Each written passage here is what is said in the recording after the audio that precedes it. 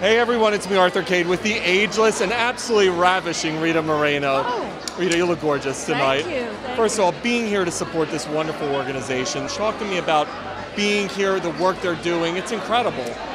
You know, I, I sometimes wish that when I was a young girl, a Puerto Rican girl in New York or in America, that there had been such an organization to help out. Uh, I had nothing like that.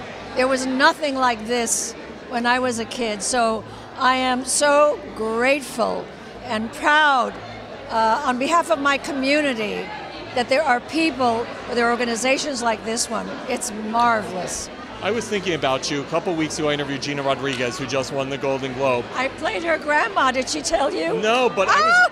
I I'm in an episode that's coming up. First of all, she's the best. But you open doors for people like her. You're a pioneer. And we were talking about minorities in Hollywood.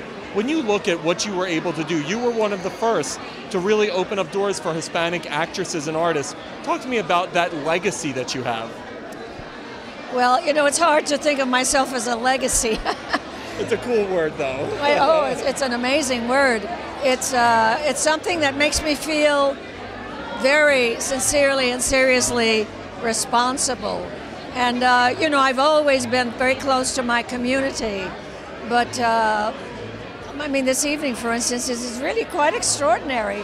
And you know, there are all these amazing people coming up. There's Gina, and there's Lin Manuel Miranda, who is nothing the less hottest than. show in New York right now. oh, I know, isn't that hottest show- great? the hottest show in New York. Well, I already saw the show, and I'm going to see it again when I bring my daughter to New York.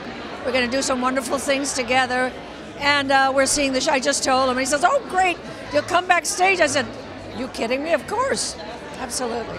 you had a fabulous year last year between getting a Lifetime Achievement Oh, Award, your book. Talk to me about when I have an album coming out. high five on that. No, this Talk is to me gonna. about the album. This, you're gonna love this because it's produced by Emilio Estefan. It's in Spanish, and in in the album, I'm singing uh, somewhere from West Side Story in Spanish. It is so beautiful in Spanish. It's interesting. It's almost. It's a beautiful song, but I think it's even more beautiful in Spanish. It's gorgeous. Your book was incredible. Talk, was it difficult opening up about your love life, suicide attempt? I mean, it was really revealing. Was it therapeutic? Was it easy? What was it like?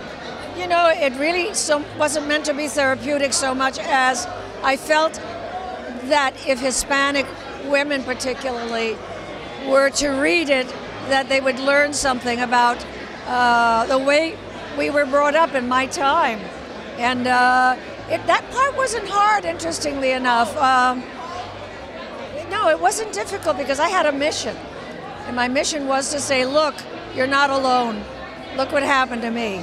You know, this, this woman that all of you think is so strong and all that had her difficulties too. Your Lifetime Achievement Award, what an honor. Oh, wow. Was that something?